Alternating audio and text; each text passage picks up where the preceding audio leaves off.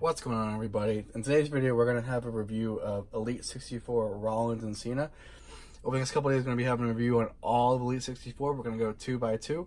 Um, so let's get started with Rollins and Cena. Alright guys, let's take a look at the packages of both of these bad boys. So, we got the front, side, good images of both both fighters. Got the back, and you guys can pause the video here if you want to get a good read at the descriptions in the bottom.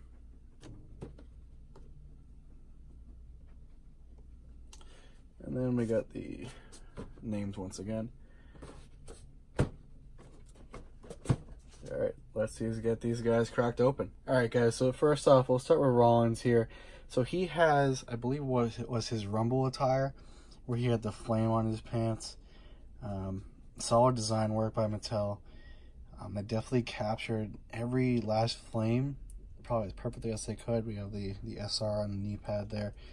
Um, I will say they definitely, you know, improve with this Rollins Rollins head scan, solid head scan. Um, either way, regardless. Um, I do think that they've definitely improved the work they've done on the title belts with the tag belts. I think it's definitely a shinier, as you can see in the light here. Um, definitely looks more like the, as you see on TV, tag titles. Um, as far as articulation goes, you guys can see, I mean, definitely all the joints are good. No, no issues here with the joints. Um, arms are good. Um, torso is all set. No issues with the head either. So yeah, solid figure all around. Um, you know, it's really kind of just your basic set It just has, you know, flaming pants on it with nothing too, too special. But um, solid design. I, I saw plenty of guys customize this figure. Um, but yeah, I mean, it comes with the interchangeable hands too. This is the first figure I have with the interchangeable hands. Uh, the next up, we have the John Cena. So I believe this is um, one of the first few times we've had the the new boots here. I should say shoes, but the uh, the tap out shoes. Now he's sponsored by them. Um, and the first time we have the open "You Can't See Me" hands, which I thought was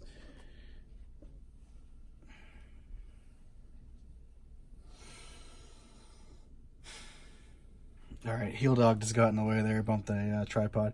Um, but yeah, as I was saying, I thought the uh, the hands here, solid addition. The fact that if you're doing stop motion, you can now do that you can't see me in front of people. I mean, that's nuts. Um, I know I've been waiting for that for a while, so that's really cool to see, honestly. Um, I mean, yeah, the shirt, the same, you know, solid. I will give Mattel this, when they give us cloth shirts, they're always solid. They always feel perfect. The, the designs always come out pretty damn clear. Um, and then when they're with the rest scene of the uh, the hand the the uh, sorry the um, the uh, rest the wristbands are solid. Um, no problems on this one as well. I just I love the detail that, that you can give Cena and other figures when they want to, uh, when it's necessary. It comes with the um, the dog tags as well. But yeah, overall, you know, another solid figure. I think. Uh, regardless, we'll, we'll, take the um, the stop off him real quick. Uh, the fact though, you know, that we get the interchangeable hands with the shirt on top of the um, the hat and everything else is just a really really solid. Um, you can see a bit of the underwear and then the um, the belt. You know, the solid design work on the belts as well. Um, I will say again, you know, classic Mattel quality control. Um, you know, giant spot in the head there.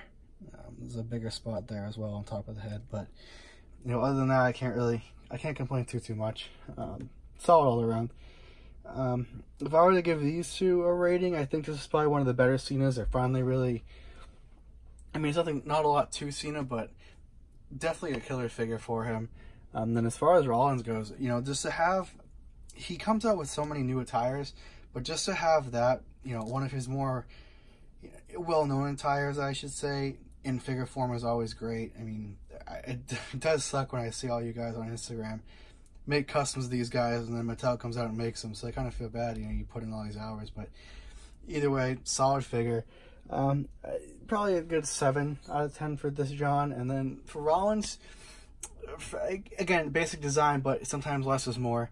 Um, probably a good 7.5, I would say, on the Rollins. Fact that we get, you know, a solid attire on top of a belt, great head scan, solid 7.5, I'll go with that. Um, so catch us out in the next video, guys. Peace.